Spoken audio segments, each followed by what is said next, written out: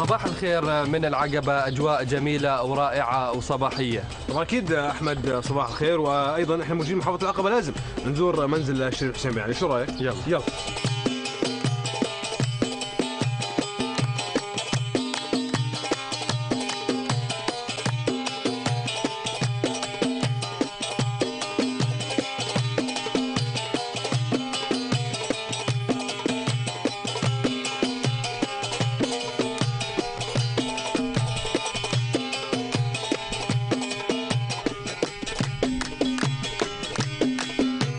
ست ربع منزل الشريف حسين بن علي في محافظة العقبة، هذا المكان له تاريخ وعبق قديم جدا، أحكي عن هذا المكان بشكل عام.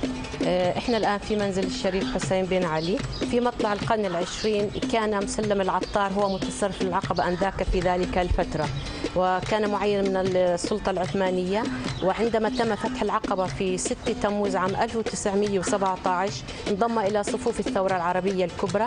وبعدها تسلم المستشار محمد الأسد المتصرف للعقبه في ذلك الفترة. آه، طبعا هو عين من قبل الحكومة الأردنية الهاشمية وقد بنى هذا البيت المستشار محمد الأسد على الطريقة الحجازية والتي هي عبارة عن غرفتين متقابلتين وبينهما هذه الساحة السماوية.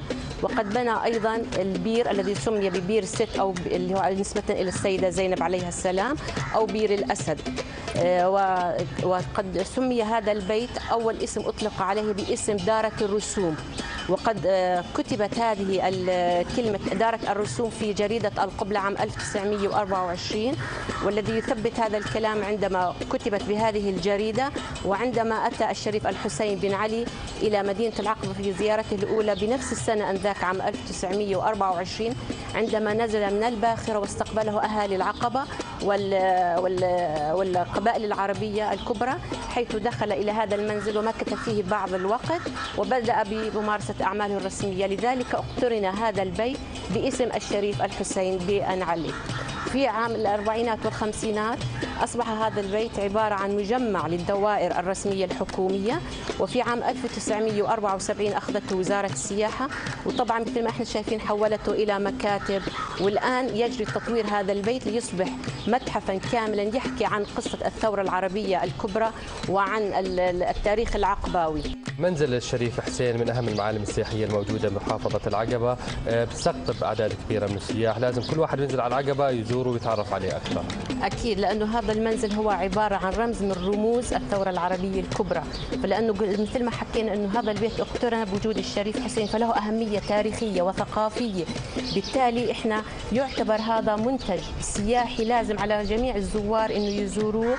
كونه آه، له له مكانة تاريخية وعبق عبر الزمان.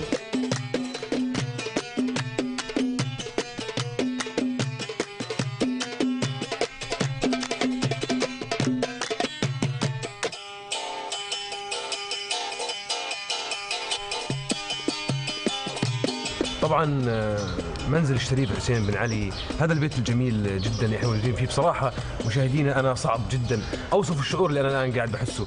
آه، طبعا هذا البيت آه، موجود على وأطلالة جميلة على ال- ال- البحر. وأكيد هذا البيت غالي على كل أردني بحب تراب هذا البلد. وكل حجر بهذا البيت لها حكاية ولها رواية. طبعا خلينا نروح بجولة بأركان البيت ونروح لزميلنا أحمد أبو محمد ونشوف شو موجود عنده أحمد أبو محمد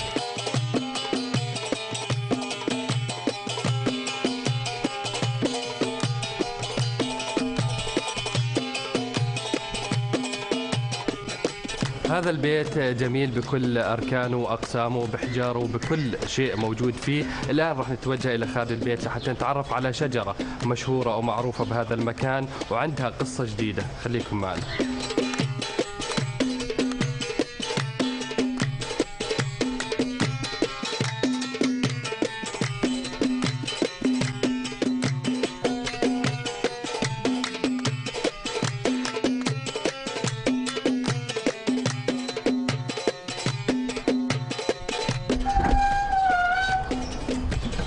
طبعا أنا موجود الآن عند أحد أبواب منزل الشريف حسين بن علي ولكن يعني رغم ان الباب هذا كبير كثير وأيضا باب قديم جدا ولكن بصراحة يعني هناك نفس جميل أول ما فتحت هذا الباب ومنظر جدا رائع. خليكم معنا بجولة صباحية في هذا المنزل الجميل جدا جدا جدا.